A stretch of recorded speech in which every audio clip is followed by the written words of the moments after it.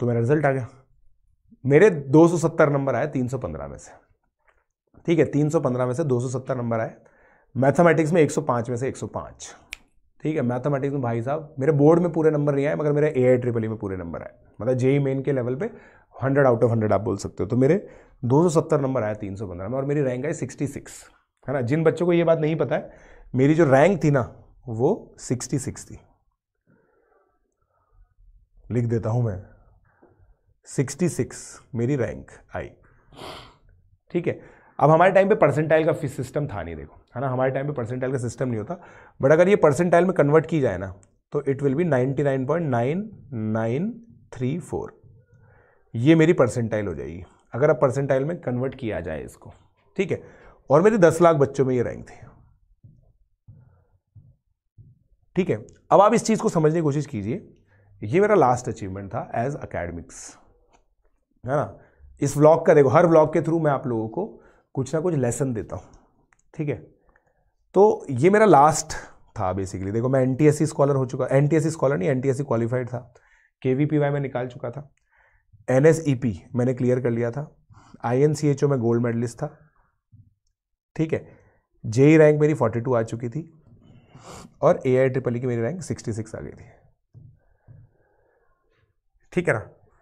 तो मैंने जब ये सब चीज़ें अचीव की ना, जब ये सब चीज़ें अचीव की तो आप इस चीज़ को समझो कि मेरे घर पे क्योंकि इस सब चीज़ों का बैकग्राउंड नहीं था ना तो इसकी कोई ग्रेविटी थी नहीं कि मैंने ये सब कर लिया। लोगों को लग रहा था कि यार मतलब मेरे घर वालों को लगता ठीक है, हर साल किसी न किसी की आती है, इस बार हमारी आई है मतलब हमारे बेटे की आई है। ठीक है ना, ये सब चीज़ें थी। बट जब मैं इस चीज़ को पीछे देखता हूँ ना, और मैं ये चीज़ देखता हूँ कि लार्जली हम किन लोगों से इंस्पायर होते हैं? हमारे मैक्सिमम इंस्पिरेशन वो लोग हैं जिन्होंने अपनी लाइफ में कुछ डाउन देखा है।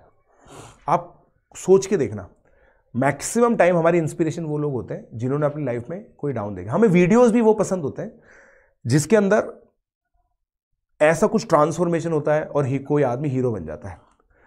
और हमें पता है इस तरह की चीज़ें होती हैं। जैसे आज आप देखो ना मतलब ये इंडियन साइकी है। के हमारे यहाँ पे इतनी हिट क्यों है? क्योंकि भाई वो आदमी मजदूर था। फिर एक बहुत बड़ा सुपरस्टार हो गया फिर रॉकी भाई बन गया। ठीक है? आप कोई सी भी मूवी देख लो ना कोई सी भी देख लो उसमें यही चीज़ होती है। राइट जहाँ पे सक्सेस स्टोरी का मतलब ये होता है there has to be some failure involve in it अभी इस मेरी पूरी स्टोरी में है ना आपको कहीं फेलियर नहीं दिखेगा। Right and that is why it does not make a very good story according to some people but what I think what I think always been able I have always been able to put myself in a position where am where am truly hard working है ना? Reason कुछ भी हो मेरे hard work करने का। But मैंने लगातार हार्डवर्क किया है। ठीक है मैंने इस चीज़ को बहुत अच्छे से जिया है। Prevention is better than cure मुझे फेलियर क्यों देखना है सक्सेस पाने के लिए? मुझे क्यों देखना है? है ना? मतलब why do I have to see the failure मैं क्यों देखूँ फेलियर ठीक है ना? And it is not necessary to to see failure to become a successful person it is not necessary और आप देखेंगे ना, आपको एम्पल अमाउंट ऑफ़ एग्ज़ाम्पल ऐसे लोगों के भी मिल जाएँगे, जहाँ पे इंसान ने अपनी अच्छी खासी डिग्री ली है, अच्छी खासी पढ़ाई की है, उसके बाद और पढ़ाई की है, उसके बाद एक अच्छी जॉब की है, उसका प्रमोशन हुआ है, और वो आज गूगल का सीईओ है। ऐसा है ना? ऐसा है? तो ऐसी चीज़ें होती हैं जहाँ पे हमने कोई खास फेलियर नहीं देखा लोगों ने। एंड इट इज़ ओके अगर आप अपने आप को ऐसी पोजिशन में डालोगे ना where you are preventing your failures why do you want to put yourself in a situation where you can see the failures और फिर ऐसे वीडियोस देखने पड़े कि यार अच्छा देखो, ये भी फेल हुआ था। दोस्तों, अगर दस लोग ऐसे होते हैं ना, जो आईआईटी में सक्सीड करते हैं तो सात से आठ अपनी लाइफ अच्छी जी लेते हैं। एक दो के साथ उसके बाद गड़बड़ हो जाती है। मगर दस लोग ऐसे होते हैं ना जो बहुत खराब अपनी ज़िंदगी कर लेते हैं। उनमें से एक दो ऊपर उठ पाते हैं और उनको हम इंस्पिरेशन बना लेते हैं। उनको हम इंस्पिरेशन बना लेते हैं।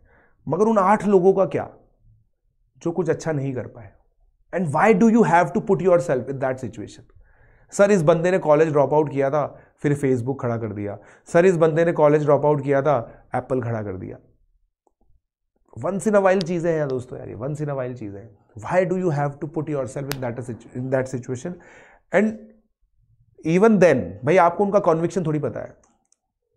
मार्क जकरबर्ग को बहुत हाई कॉन्विक्शन था फेसबुक में कि वो फेसबुक को अच्छा कर लेगा।